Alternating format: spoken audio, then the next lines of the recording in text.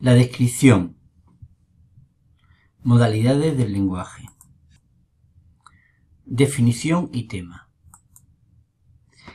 La descripción es una variedad del discurso con la que se reproduce verbalmente una parcela de la realidad, destacando sus rasgos característicos.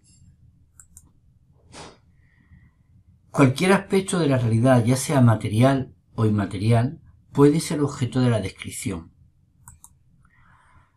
Cuando el tema es la realidad física, se pretende hacer ver al lector las cualidades o propiedades de un objeto, un paisaje, urbano o natural, un animal o una persona. En el caso de los seres humanos, la descripción recibe distintos nombres dependiendo de que el interés del escritor se oriente hacia el aspecto físico, prosopografía, lo moral o psíquico, etopeya, o una mezcla de ambos retratos. Si por el contrario se ofrece una visión deformada del individuo exagerando sus rasgos más llamativos con intención de ridiculizarlo, entonces estamos ante un retrato caricaturesco. Cuando se describen realidades abstractas como sensaciones, estados de ánimo, sentimientos, lo que se busca es que el receptor sienta también esas experiencias.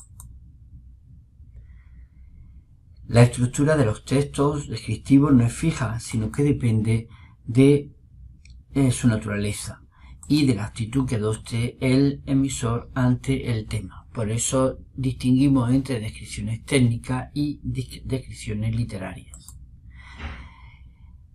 La descripción técnica informa de las características de los objetos, fenómenos, experimentos o aparatos y suelen presentar una mayor rigidez en la ordenación de los contenidos.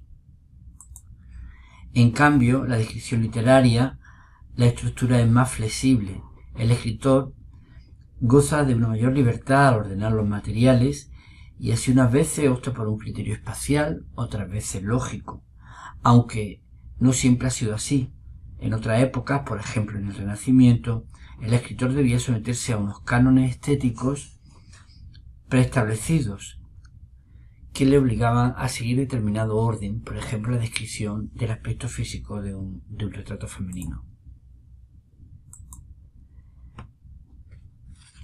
Tanto la descripción física, perdón, la descripción técnica como la literaria tienen una serie de rasgos comunes. Por ejemplo, tienden a inmovilizar el objeto, manteniéndolo fuera de la secuencia temporal. Esto se observa precisamente en la preferencia del uso de formas verbales de aspecto imperfectivo, en la utilización de verbos atributivos o de verbos predicativos que signifiquen estado.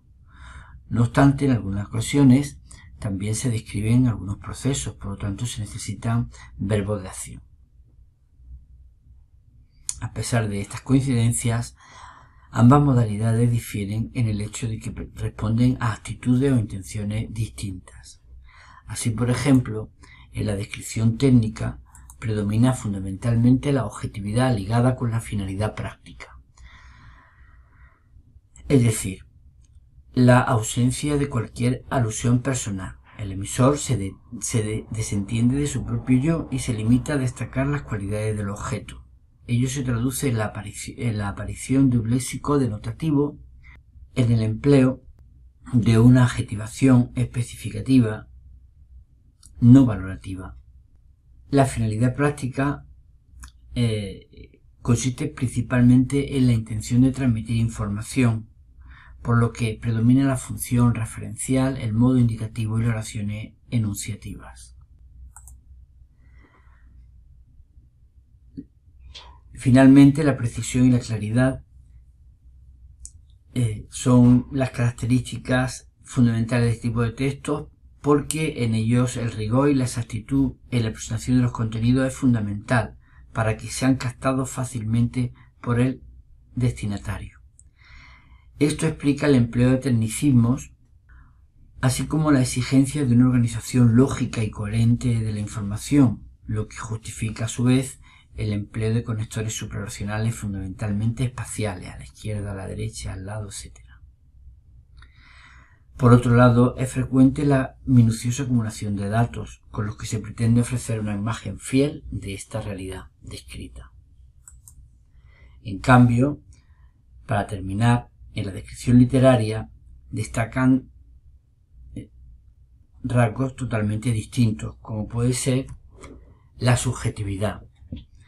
Él pues nos ofrece una visión personal del objeto, apreciable principalmente en la selección de un léxico connotativo y una adjetivación explicativa y valorativa.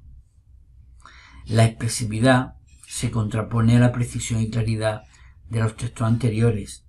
Es decir, aquí lo que prevalece es fundamentalmente la selección de aquellos detalles que por ser relevantes y significativos individualizan al objeto.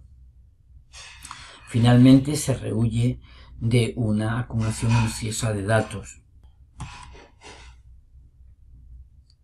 La finalidad estética sería la última característica fundamental de estos textos y que se manifiesta en la presencia de recursos literarios como pueden ser la metáfora, el símil, la personificación. En el caso de las descripciones caricaturescas son frecuentes la hipérbole, la comparación hiperbólica, la animalización o la cosificación. Muchas gracias